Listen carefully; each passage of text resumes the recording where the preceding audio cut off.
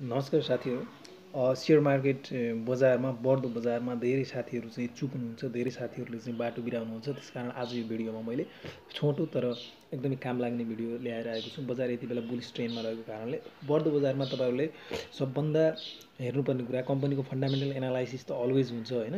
Fundamental एनालाइसिसको अलावा पनि तपाईँले चाहिँ टेक्निकल एनालाइसिसलाई पनि ध्यान दिनुपर्ने हुन्छ। टेक्निकल रूपमा कम्पनीले कस्तो किसिमको प्रोग्रेस गर्दैछ कम्पनी कतातिर जाँदैछ कम्पनीको अवस्था के हुँदैछ अथवा कम्पनीको राम्रो समाचारहरू के आउँदैछन् भन्ने कुरा फेसबुक विभिन्न अनलाइन वेबसाइटहरूबाट तपाईँले जानकारी लिइराख्नु पर्नेछ डिभिडेन्टहरू के कस्तो घोषणा गर्दैछ सो विषयमा चाहिँ तपाईँले जानकारी लिनुपर्ने हुन्छ र अर्को महत्त्वपूर्ण कुरा भनेको market capitalisation EPS P ratio यिनीहरू त फन्डामेन्टल एनालाइसिस अन्तर्गत परे नै मार्केट क्यापिटलाइजेसनलाई तपाईँले चाहिँ विशेष ख्याल गर्नुपर्ने हुन्छ जस्तो बढ्दो बजारमा ठुलो मार्केट क्यापिटलाइजेसन क्यापिटलाइजेसन बढी भएको कम्पनीको फ्लक्चुएसन कम हुन्छ त्यो कम बढ्छ भने क्यापिटलाइजेसन कम भएको मार्केटमा जसमा चाहिँ पब्लिक सेयरहरू हेर्नु होला क्यापिटलाइजेसनमा गएर पब्लिक सेयरमा गएर तपाईँले हेर्नुभयो भने त्यहाँ चाहिँ पब्लिक सेयर एकदम कम भएको कम्पनी तपाईँले किन्नुभयो भने त्यो म्याक्सिमम् चाहिँ बढ्ने सम्भावना हुन्छ सर्किट हान्ने सम्भावना हुन्छ। तपाईँले देख्नुभएको होला नि त हाइड्रोको फन्डामेन्टल एकदम लो छ माइनसमा छ सबै होइन?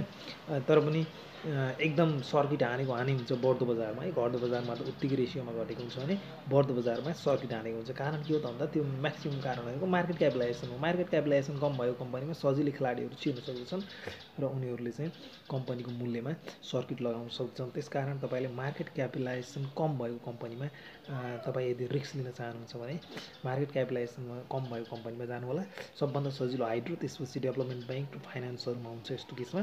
त्यो कारण तपाईँले बजारमा पनि हेर्नु हेर्नुभयो भने अहिले म्याक्सिमम् बढ्ने भनेको हाइड्रो फाइनेन्स र डेभलपमेन्ट ब्याङ्क रहेको छ जसमा रिस्क पनि हुन्छ तर फाइदा पनि हुन्छ। त्यस कारणले त्यसैले तपाईँले ख्याल गर्नुपर्दा मार्केट क्यापिटलाइजलाई विशेष तरिकाले ख्याल गर्नु होला र सोही अनुसार लगानी गर्नुहोला। जस्तो सेयर मार्केटमा सधैँ फाइदा मात्र हुँदैन रिस्क पनि हुन्छ। त्यस कारण रिस्कको पाटोलाई पनि केलाएर तपाईँले बढ्दो बजारमा लगानी गर्नुभयो भने अवश्य फाइदा हुने रहेछ।